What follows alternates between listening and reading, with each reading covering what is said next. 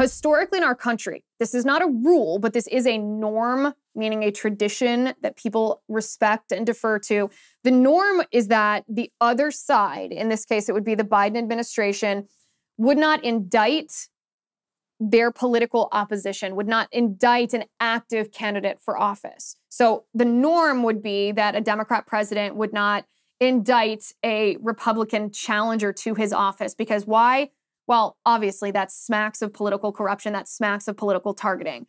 This could be why Trump announced this so early. The problem is, of course, is the Democrats have no interest in adhering to any kind of norms. They don't care about tradition. They don't care about morality. They don't care about appearing to be above using the power of the federal government to target their political enemy.